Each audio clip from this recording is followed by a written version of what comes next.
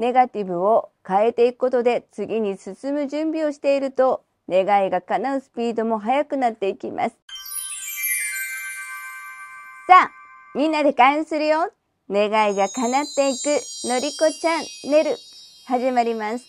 さて、9月も半ばに入って季節も少しずつ秋めいてきて朝晩は過ごしやすい日が増えてきましたよね。9月の後半になっていくと秋がどんどん進むとともに大切な快味が続々とやってきます。9月の22日から28日の1週間は開運日の多い週になってきて23日には秋分の日もやってきます。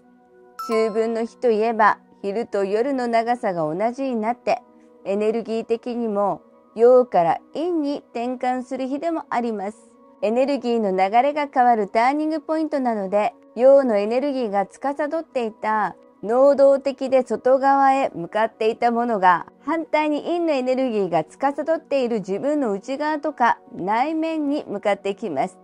天界と霊界の扉も開き宇宙ともつながりやすくなるのでまさに人生の転換期になっていきます。そして実はこの秋分の日を超えてからまた二極化が前よりも進んでいき願いが叶うスピードがより速くなっていくんです。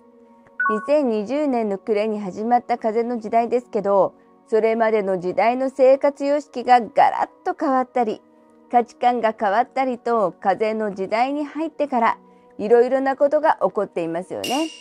自分を変えるとか自分で自分の人生を切り開くとか自分の気持ちに向き合うということも増えてきています。自分で自分を満たすことだったり誰かに自分の人生を決めてもらうのではなくって今後も私たちはより高いエネルギーを持って新しい時代を生きていくことが大切です。時代の変化になかなか乗れないとネガティブになってしまうかそれとも少しずつ新しい時代に馴染んできたのでもっと波に乗っていくか。そんなに極化が進む中だからこそ9月22日の開運日から始まる開運日は特に大事なんです。なのでこの時期はぜひね開運日の動画も見ておいてね。でこの行動で願いが叶うスピードがより早く叶う。もっと生きやすくなる。気運が上がる。ようになって自分のエネルギーがどんどん高くなっていきます。また、かゆみじゃない日もあるんですけど、かゆみじゃない日も大切に過ごしてください。その時の行動もとっても大事になってきます。では、どんな行動が大切なのかということをここから5つお伝えしたいと思います。まず1つ目は、食事は旬のものをよくとる。また、好きなものを食べることをしてみましょう。この時期に取れる食材っていうのは生きるエネルギーが多く含まれていて旬の食材だからこそ食材自体の美味しさも増して栄養価も高いんです。なので旬の食材を体に取り入れることで開運のエネルギーを蓄えることができます。他にもその時期にしか食べられないものは五感の刺激にもなるんですね。視覚や味覚そして収穫がいい刺激を受けてその刺激が自分の直感も鍛えてくれます。今は年間を通してね、スーパーやお店では同じような食材が手に入る便利な時代ですけど、日本には四季があって食材にも旬の時期があります。で旬の食材は食べても美味しいし、体のバランスも整えてくれますけど、私たちの寿命を伸ばすと言われていますから、意識して取ることが大事ですよね。また自分の好きなものを食べる時ってこんなに美味しいものを食べれて幸せ。とっても美味しいとお腹だけではなく心も一緒に満たされていきます。その満たされた気持ちってとってもエネルギーが高いですから自分自身のエネルギーも高まりますからね。そしてかゆみじゃない時の2つ目の行動は断捨離する掃除をするということ。断捨離は自分にとって必要のないものを断ち、手放すことで物への執着から離れること。自分にとって本当に価値があるとか、精神的に必要なものだけを残していくので、自分の好きなもの、大切なものが見えやすくなって、思考がクリアになっていきます。そして物を減らすことで家がすっきりして新しい運気が流れ込んでくるので、停滞していた運気が動き出します。また本当に必要とか、本当に欲しいものを買っていくという意識も生まれるので、無駄遣いがなくなって自然とお金が貯まっていくんです。それに物を減らせばスペースが空くので、今必要なものをすぐに見つけることができて、時間にも余裕ができ、それが心の余裕にもつながっていくんです。自分の好きなものや自分にとって価値のあるものってとっても大切にするし、それは自分を大切にしていることと一緒です。またね、掃除をするというのも、火炎日じゃなくてもいい運気を取り入れるには大切なことです。空気がきれいで清潔感のある家には、いい運気が循環しますからね。日頃からお掃除しておくと、火炎日にするといいお掃除の効果もさらにアップします。そして3つ目の行動は心の断捨離をする。ネガティブな気持ちがないかチェックしてみてください。ネガティブな気持ちには怒りや悲しみ、不安、心配とか、まあ、これ以外にもありますよね。でもネガティブな気持ちはあってもいいんです。そのネガティブな気持ちを無視してしまうのが良くなかったりするんでしょう。忙しい中でちょっと我慢したとか、イラッときたという時、ちゃんとネガティブな感情を確認しないまま、次、次、次とやることに追われていると、知らない間にものすごい我慢になっていたり、大きな怒りになってしまっていたり、気がついた時には大爆発なんてこともあるんですよね。なので自分の心の中のネガティブな感情をチェックしてみましょう。ノートや紙に書き出しても OK です。あの時に怒りたかったけど我慢したなとか、実はあのことが毎日頭の片隅にあって心配とかね、書き出してみることで心の奥に見て見ぬふりをしているネガティブな感情があることに気がつくことがあります。ネガティブな感情を見つけたら、それを否定しないで、ちゃんと自分が受け入れてあげてください。否定したり、ああ、私ってダメだな、とか、私はできないなって思ってしまうと、潜在意識にできない、ダメな自分が刷り込まれてしまいます。そのできない、ダメっていうのは、本当かなってことなんです。思い込みという部分で心にストッパーをかけてはいないかな？ストッパーをかけてしまっていると心の断捨離ができないままになってしまって自分のエネルギーが下がってしまうんです。